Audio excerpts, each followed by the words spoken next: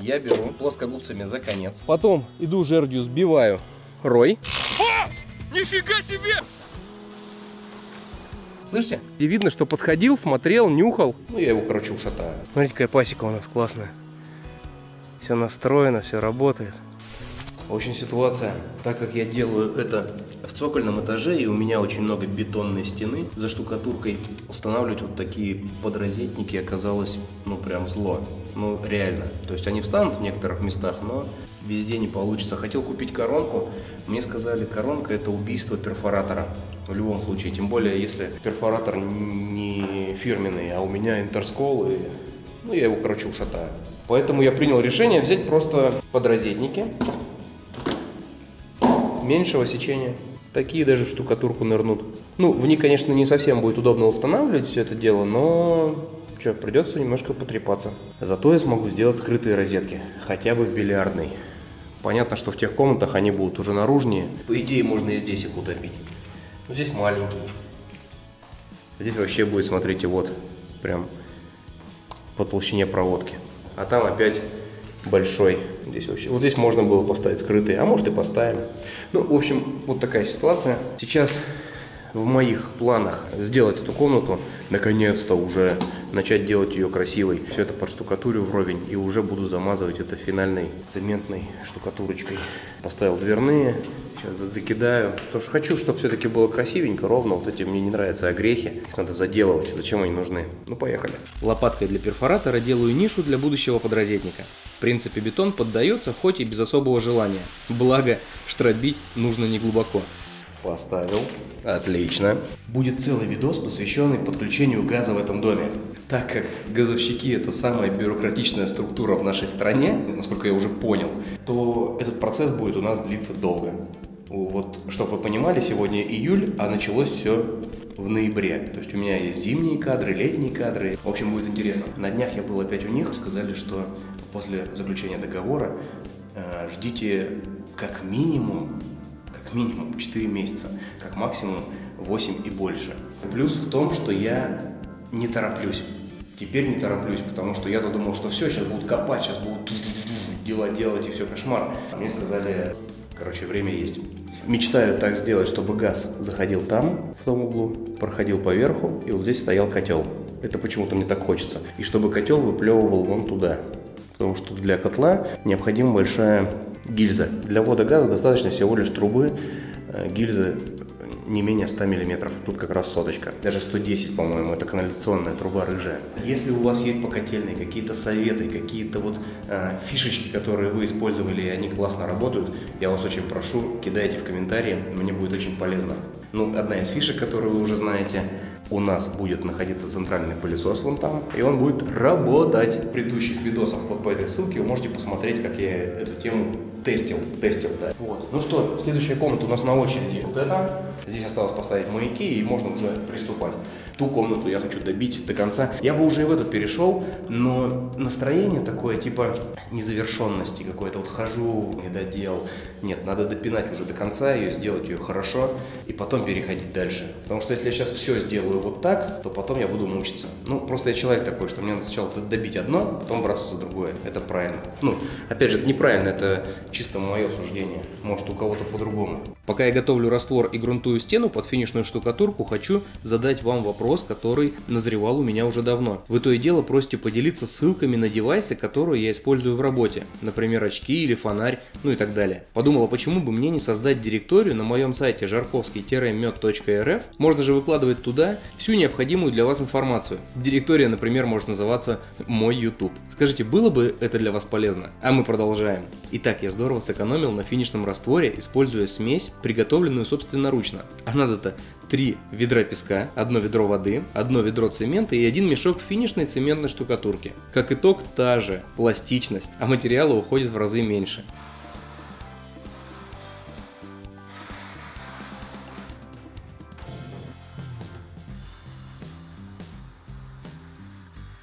Казалось бы, работа вообще незаметно прошла, да? Ну, точнее, она ничем не отличается от того, что было в начале и стало в конце. Но теперь я поворачиваюсь вот так. И вот эта сторона показывает вам разницу. Осталось доделать немного, устал, честно говоря, надо еще рамки напроволочить потому что на пасеку подставить. Скоро мед! Его уже много пчел налили, но им не хватает магазинов. Отдел снабжения вчера звонил, говорит, подвози магазин, надо наливать медом. Вот. Кстати, у пчел есть отдел снабжения, что надо быстро проволочить, довозить магазины и, и на следующей неделе поедем качать уже точно. То есть это 20 какие, 20, 20 какие-то числа. Ждите мед, он скоро будет. Я вам покажу прям видос, как его качаю, как он льется. В этом году я увеличил пасеку и приобрел супер крутую мегаджет медогонку, на которой вообще не надо ничего делать. Там кнопочку нажал, она все сама сделала. Так что вот так. Похвалился. О, все. Так, ладно, пошел я проволочить рамки и надо на пасеку сгонять. А потом добьем вот эту часть. Да, вот так будет правильно. Пойдемте. Так, Жень, проволочила нормально. Что делаешь? Дырки сверлю, где не хватило. У нас некоторые рамочки дырок. оказались без... А я тут выпендриваюсь перед зрителями, говорю, что я сейчас пойду проволочить, а у меня жена все сделала. Не, ну, Всю главную работу. Так, а это что у нас за брак, брачок? А это вылетело. Это надо просто взять мощными пальцами так. Ой, отремонтирую. Сейчас сделаю. Мощь. Что? Мощь! Сила! Ну все здорово. Сейчас это остатки, которые нам надо добить уже и отвезти на пасеку. Тут 4 магазина, это 40 рамок. Здесь еще рамки магазинные. Вон они. Короче, их здесь 100 в общей сложности. И еще рамок 20 э, больших корпусных. Берем рамку. Рамку. Рамки натянула Женя. Вы это видели. А мне осталось это все дотянуть. Я беру вот так плоскогубцами за конец. И теперь тяну на себя. Вот так подвожу и заворачиваю. Главное, чтобы рамка была натянута от соль малой октавы до второй октавы. Видите? Немножко не строит. За соль, да? Соль или ми. А вот это... Так, еще подтянуть. Немножко надо подтянуть. Все, рамка строит. Слышите? Сейчас хорошо, да?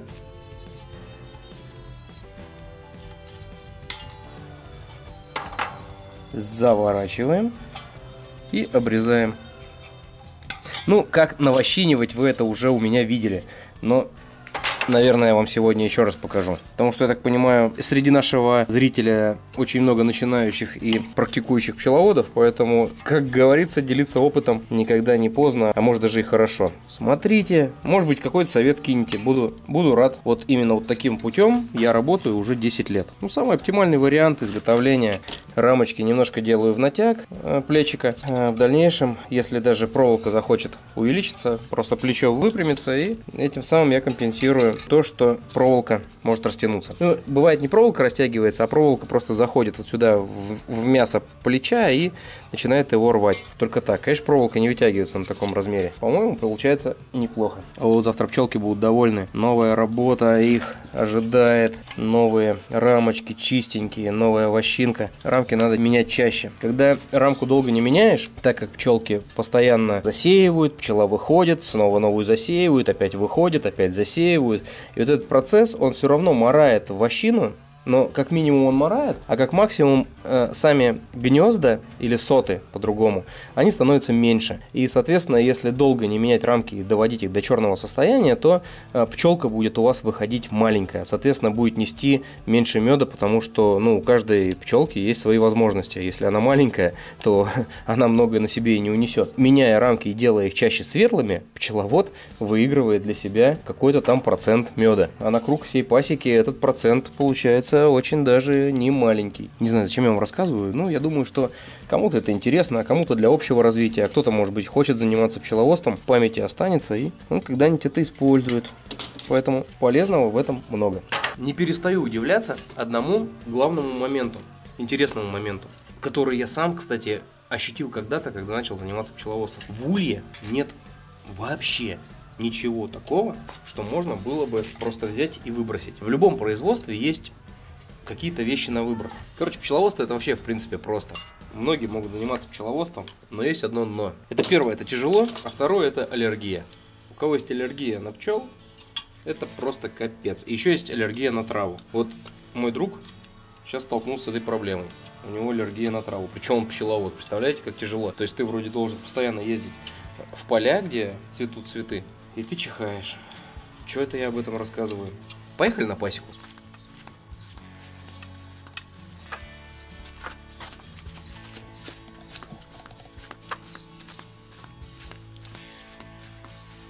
Так, хейтерами я обеспечен, жена таскает, муж отдыхает. Приехали только что. Вышел, слышу звук роевой. Слышите? И точно. Смотрите, рой формируется. То есть рой вышел сейчас. И вот он сейчас будет шапкой где-то вон там зависать. Вон уже видно, где он формируется, вон обсаживается вокруг березки. И потом это все вот так там повиснет. Но этот рой достать, конечно, будет крайне тяжело. Какая-то семья троилась сильная, скорее всего. Не знаю, взять его тяжеловато будет. Тут надо лезть, рубить, это все осыпется матку уже не найдешь. Подставить что-то и стряхнуть тоже сильно высоко. Вот раек. Он сейчас засядет туда, э, пчела разведчица улетит искать новое место, где-нибудь дупло какое-нибудь или ловушку. И потом они перелетят. Надо сейчас ловушки будет выставить, потому что раи, раи уже работают. Значит, надо это, на всякий случай, поставить ловушечки. Медведь был на той неделе. Его током жваркнуло. Он порвал сетку, и убежал. Все истоптано, он там все исхожено, подходил со всех сторон. Сейчас начнем работать и покажу вам моменты, где он чудил. Но хорошо не отгнули, не взял. То есть он только начал через сетку переходить, его долбануло, дернулся, рванул сетку, больше не приходил. Так как улья все стоят на месте. Так, ладно, все, пойдем переодеваемся и работать. По поводу этого роя я решил поступить таким путем. Я сейчас поставлю сюда ловушки на разных расстояниях, заряжу ловушки вкуснятиной. И я думаю, что разведчица, она явно выберет мой вариант. И на следующей неделе мы с вами увидим, заселилась ли туда роевая семья или она свалила с нашей пасеки. Ну, потому что лезть на высоту третьего этажа там просто, ну, нереально. Даже если я залезу, спилю ветку, это все все равно обсыпется и мы проиграем. Ладно, смотрим в улье. А, сейчас наша задача понять, сколько там меда и вообще надо ли подставлять. Сегодня процесс такой.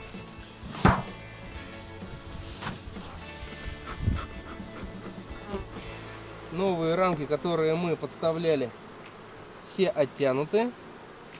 И все полностью засеяны свежим однодневным расплодом. Так, заметьте, рамки, которые мы с вами готовили, я ставлю через одну, да, для того, чтобы пчелы э, не пугались новой суши и работали корректно. И я ставлю его в разрез, потому что с этим магазином они уже знакомы, а тот магазин для них новенький. Поэтому, чтобы они быстрее с ним познакомились и ходили в свой известный уже себе магазин через этот и наливали все равномерно медом. Такая вот идея обмана. Или как это, лукавство. Вот теперь можно смело две недельки дать им на работу, и у нас будет очень много вкусного меда. Сейчас, может быть, через неделю поедем, посмотрим. Это первая ули, я еще не знаю, что происходит со всей пасекой. Сейчас мы это поймем. Может быть, дальше будет все намного интереснее. Как я и говорил, друзья, вот сейчас мы проходим второй всего лишь улей.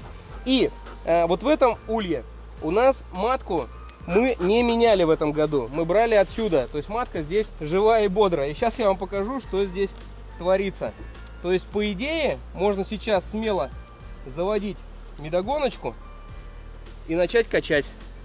Смотрите, полностью все залито медом. Этот мы поставим в разрез, дадим им два магазина новых и пусть ребята занимаются работой. Вот такие небоскребы мне пришлось настроить, потому что я просто не взял с собой медогонку. Но меда, я вам скажу, уже хорошо. То есть медведь был очень даже прав, когда лез сюда к нам.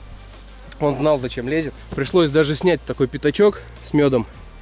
Вот пчелкам в подарок. Сейчас они его обнесут. Просто они уже настраивали его а, снизу соты. Это я им в подарок отдал обратно. А вот смотрите, что сейчас есть. Вот, казалось, один магазинчик.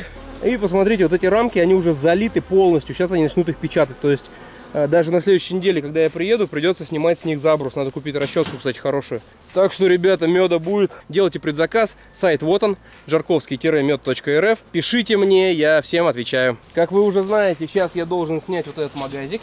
Сюда я ставлю пока им два других магазина, которые в разрез, чтобы они их заливали, пока время не теряли. У меня видите, как получилось? Улья, в котором матка, оно работает. Улья, в котором нет матки, оно пока слабенькое. Но оно к сезону, то есть вот, ну, еще недельки две, и оно уже начнет работать. Давайте, пчелки, все, молодцы, работаем. Дожди дали себе знать. Э, дягель очень хорошо отработал. Видели, да, заезжали мы, пучка дягеля, они везде, ну вон весь дягель, вон. То есть это все дягелевый мед. Ну, с разнотравием, понятно. Гречки здесь нет, потому что гречка еще даже не цветет, вы видели. Вот, а уже заливают. Класс. Да и гречка у нас, она неопыляемая, поэтому особо-то с нее никто ничего не берет. Так, ладно, работаем дальше. Смотрите, класс, да, такие кадры? Тынч, небоскреб. Сейчас мне придется всю пасеку вот такую построить, представьте. Вот это просто жесть. Ладно, работаем, работаем, парни. Что у нас здесь? Здрасте вам. Так, а вот как раз это без матки, да? Так что оно, ну, то есть сейчас оно уже с маткой, а было без матки, поэтому они особо-то здесь и не насуетили. Так. Так.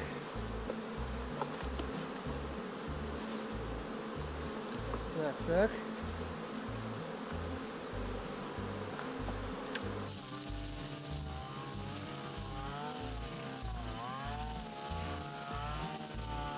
Сегодня у нас день просто богат на топ-контентик. Сейчас я вам покажу одну интересную штуку. В общем, я косил, ну, Уля косил, вы сейчас видели, да? Я подумал, а почему бы мне не прокосить под нашей линией электропередач. Бывает, травинка вырастает, задевает в линию, и ток, который должен останавливать животное, он уходит в землю. Из-за кустов у нас как бы всю линию не видно. Я начинаю косить и дохожу до одного места, вот до этого. И также я вижу помятые кусты здесь, вон там, у березы помятые кусты. И вижу порванную линию тока, та, которая не должна быть порвана совершенно. Она у нас порвана. Иду, и пока я иду, я смотрю, Вон ходил маленькие валё... валежнички. Ну, много мест на самом деле, где видно, что подходил, смотрел, нюхал товарищ наш хозяин тайги. И в конце концов я смотрю, проволока-то оборвана. Так, я отключил же периметр, да? Меня же не жваркнет. Все, где-то он тут дерганул ее хорошенько. Сейчас я должен ее отремонтировать. Дико извиняюсь за свой страшный вид. Я вот так не работаю обычно. Просто я сегодня косил, и сегодня этот костюм поедет у меня в прачечную комнату. Так, нормально порвало. Классная штука на самом деле. Я ее как-то в одном видео испытывал, даже на первом канале показывали про меня сюжет, когда я тронул ее. Страшно было. Рассказывали про пчеловодов и взяли мой кадр. Ну, короче, вот так было. Так. Все хорошо. Все хорошо, все натянуто. Да? Все натянуто. Все. Давай, медведь, больше к нам не ходи. Мы к тебе, братан, не ходим, и ты к нам не ходи. Многоэтажки, они меня просто восхищают. Вы смотрите, что творится. Вот это взяток. Вот это значит сейчас идет взяток. Это моя многоэтажка номер один. многоэтажка номер два. Э, класс, смотрите. Что несут-то хоть? Ребятки, что несете? Несем Иван-чай, пучку. Я несу зверобой. О, а я несу ромашку. Это змееголовник. Несем математику, таволга, немножко липа. У меня как насчет медуницы. Несем дягель, донник, василек, акация. Так, ну ты же не упадешь, да, за неделю, я надеюсь? Я так еще подпер на всякий случай, потому что, ну, реально стоит опасно. Представьте, в каждом таком магазине сейчас примерно по 10-12 килограмм меда, это прям 100%, если не больше. Вот, вот о чем я говорил, вот это плохо, потому что они ток на себя переводят. Вот, смотрите, пчелу задавило. Ее убило током, что ли? Офигеть, представьте, ее просто убило током. Оказалось не в то время, не в том месте. Давайте сделаем еще один момент такой. Ну, конечно, это прям по-хулигански, но я думаю, меня простят. Короче, вот этот рой, который висит, в любом случае он улетит от нас. Но я могу его остановить и оставить здесь, наверное. Я могу просто сейчас сбить его, он осыпется, тут начнется вакханалия. И этот рой прилетит в мою ловушку. Я их уже приготовил. Сейчас я их поставлю самые в такие места злачные. Поставлю самые вонючие рамки, которые уже были на выброс, можно сказать. Вот, я их приготовил. Мы их сейчас зарядим. Смотрите, вот, вот это просто нельзя ставить пчелам уже. Но зато это очень пользуется хорошим спросом у раев. Потом просто с них стряхиваем нормальное улья, и у нас мощная, сильная рабочая семья. Место номер один будет у нас вон там. Там раньше вода стояла. Вон она, пушка висит такая. До нее не долезть. Это ее даже, я говорю, если срезать ветку, я не смогу это взять. Так, и вторую ловушку поставим вот сюда прям на угол поставлю, и пусть он тут стоит. Да, точно. Для привлечения и поимки раев на пасеках в период роения пчелиных семей. Штука старая, ей уже несколько лет, но тем не менее может пригодиться. Роеловку ставлю сюда. Поливаю опероем для привлечения матки. Потом иду жердью, сбиваю рой и уезжаю. А вы все это видите. Я-то уйду, а все осыпется прямо на вас. Райок у нас вон висит.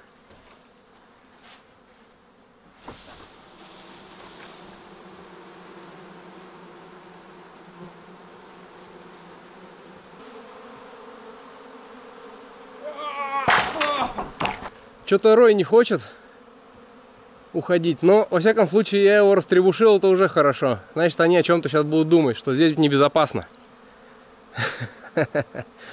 Да, но они формируются обратно, им там тепло. Давайте будем надеяться на то, что оперой сработает, и все-таки оперой их заманит к себе. Ну, а мы едем на стройку. Продолжаем. Бильярдная почти закончена, готовлюсь перейти работать в прачечную, а там и бойлерная недалеко. Настрой боевой очень выручила поездка в горы. Кстати, кто не смотрел, советую посмотреть по ссылке. Знатный отдых вышел. Который раз хочу поблагодарить вас за поддержку и ваши репосты роликов в социальных сетях. Вы лучшие. Спасибо вам, друзья. Ну а мы на этом с вами прощаемся. До скорых встреч. Надеюсь, видос вам понравился. Следующее видео у нас будет качка. Готовьтесь, парни. Будет весело.